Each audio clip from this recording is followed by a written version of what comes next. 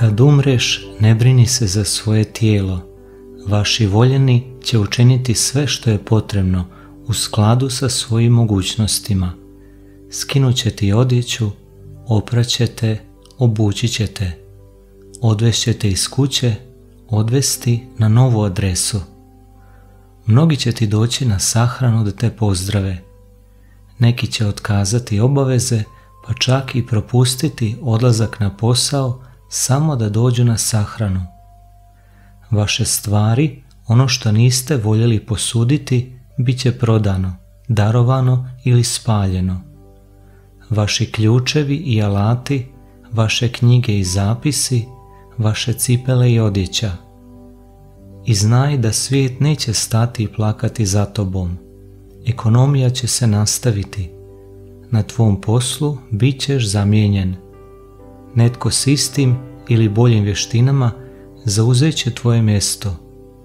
Tvoja imovina ići će tvojim nasljednicima.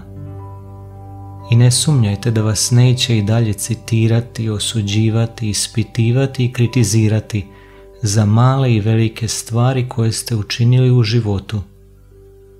Ljudi koji su te poznavali površno reći će, jadan čovjek, pravi prijatelji će plakati nekoliko sati ili nekoliko dana, ali onda opet će se smijati.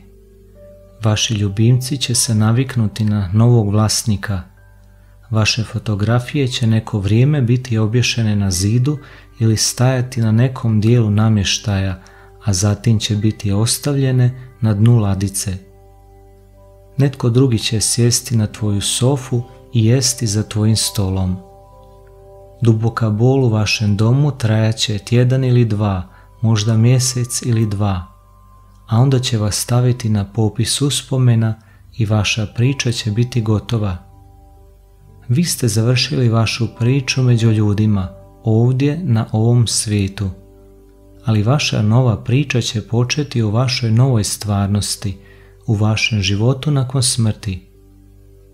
Nećeš moći nositi u svoj novi život stvari koje si imao ovdje, jer odlaskom one gube vrijednost koju su imale. Tijelo i ljepota, prezime, status, funkcije i naslovi, bankovni računi, krediti, automobili, kuće, hobi, stupnjevi, trofeji, medalje, prijatelji, supružnici i obitelj. U novom životu samo će ti trebati duh, a vrijednosti koje ste ovdje okupili bit će jedina sreća na koju možete računati.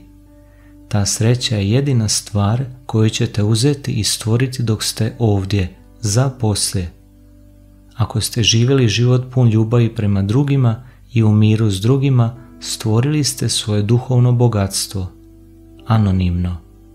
Zato se trudite da živite ispunjeni i budete sretni dok ste ovdje, jer kako reče Franjo Asiški, odavde nećete uzeti ono što posjedujete, donećete samo ono što ste dali.